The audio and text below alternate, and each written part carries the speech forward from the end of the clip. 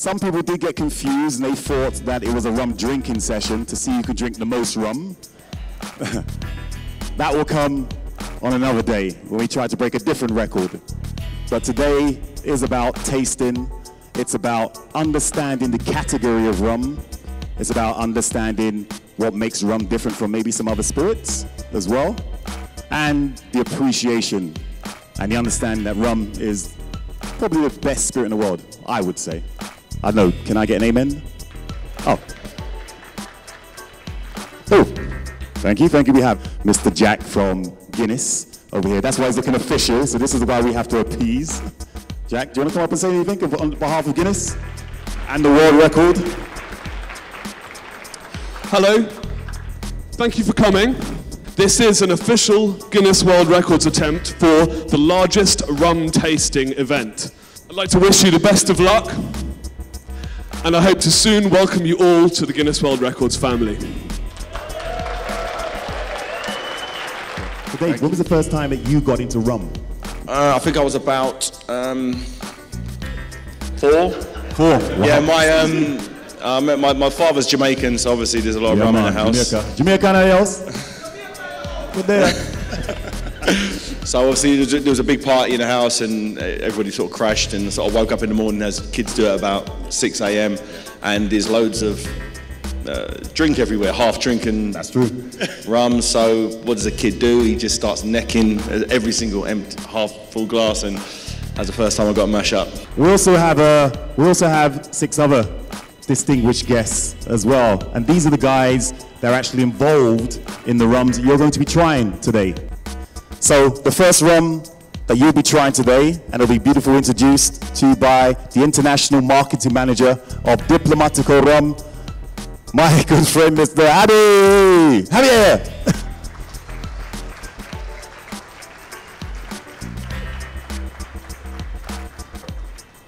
What you have in your, in your hands right now in the glass is Diplomatico Reserva Exclusiva. It is a blend of copper pot still rums, column still rums, and batch kettle rums. The 80% of the blend comes from pot still, which makes this rum to be a deep and intense flavor, aroma, and feeling. from Venezuela and introduce you today by the COO of Don Q and Serrallés Distilleries, Mr. John Heason.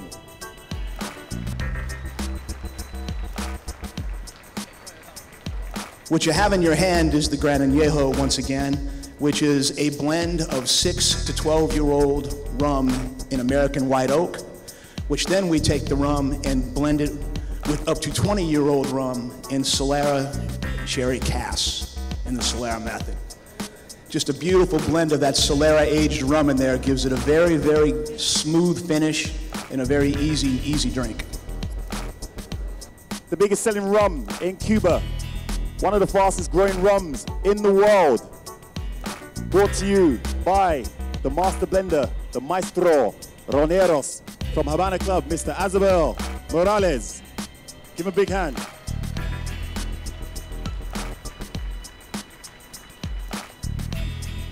Hoy tenemos en, en sus mesas, en la copa número 3, Havana Club 7 años. Today we have, uh, you have in your glasses Havana Club seven years. En la nariz realmente se, se siente, se nota un balance, es decir, es una, un abanico de aromas. In nose you can feel a, a wide variety of aromas. It's not a single dimension room. The Pusser's Navy rum, Navy Star rum, proper Navy strength. And to introduce you today is the main man. He's involved in blending, he's involved in selling, involved in marketing, actually in the whole of procurement. Mr. George Frugard, all the way from South Carolina and Virgin Islands. Thank you, everybody. What you will be drinking is the original Admiralty strength. As Ian said, is 54.5%. Um, the top was known when you take it, I want you to say, up spirits. Up, spirits. Woo! Sorry. That really warms. Now, that should be a very smooth finish, surprisingly. Ooh, nice. Thank you, everybody. Well, the number one rum from Trinidad. Another one of my favorite rums, just like the other four. All the way from Trinidad is Trinidad's own Angostura 1919, brought to you by the man that makes the rum, John Georges. This is a change up, different from everything you've ever drunk before. To begin with, you've got to look at it. It's a beautiful golden color. Nice shiny light on it.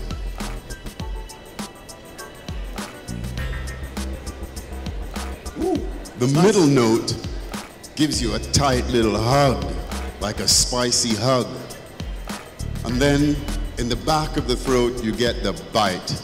And if rum doesn't bite, it isn't rum. But you know what? You know what? That bite, that little pain, somehow that pain turns into pleasure. Yeah? That pain turns into oh. pleasure. One of the most esteemed people in the industry presenting her rum today for you, Miss Joy Spence from Appleton, Jamaica Rum.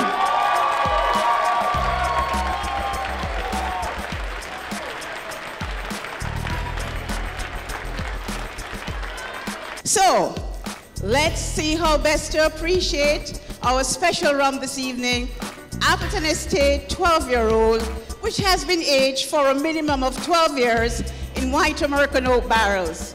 The first step is to hold your glass to the light and examine the rum for the beautiful clarity and brilliance. You should see the rum having reflections of the light in the room.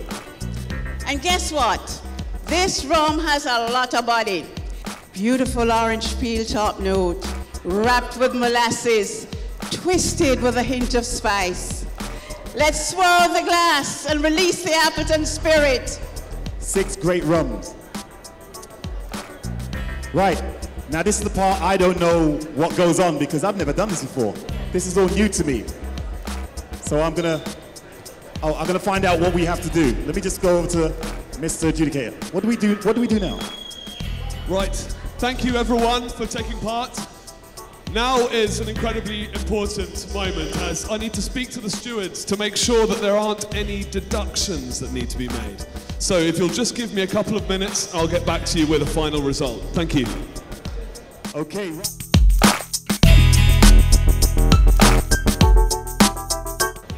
Thank you. First of all, I would like to thank Mr. Ian Burrell for inviting me here today to be a part of this landmark occasion.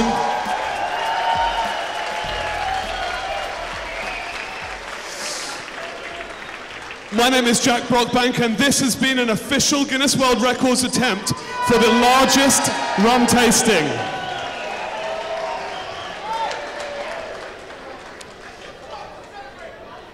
At Guinness World Records, we call this type of record attempt mass participation. And as such, it's a very, very difficult to organize. Incredibly, there, are- there are so many different elements. These stewards, all of the organization that's gone into this. So I'd like to once again say thank you so much, Mr. Ian Burrell, for spearheading this.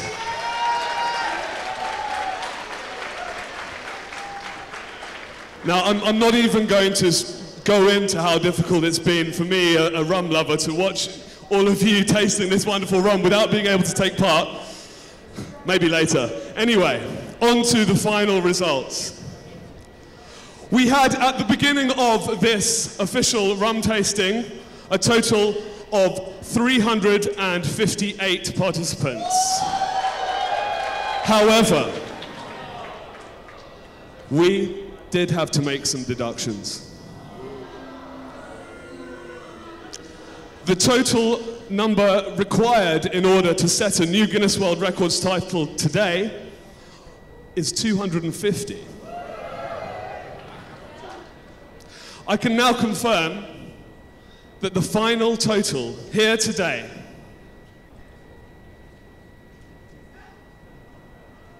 is 353.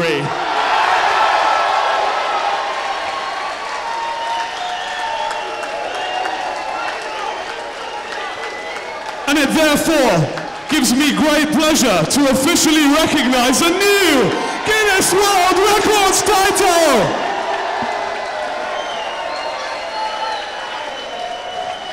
Congratulations!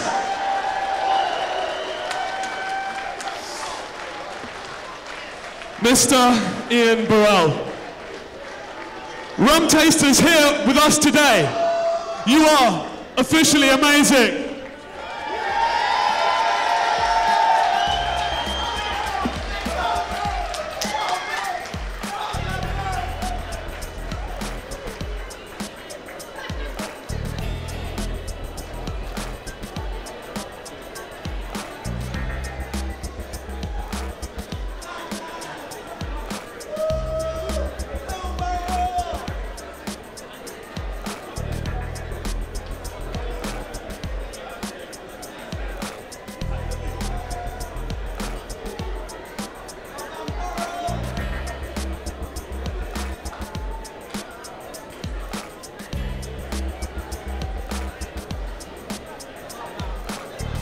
Guys, I, I need to make an announcement.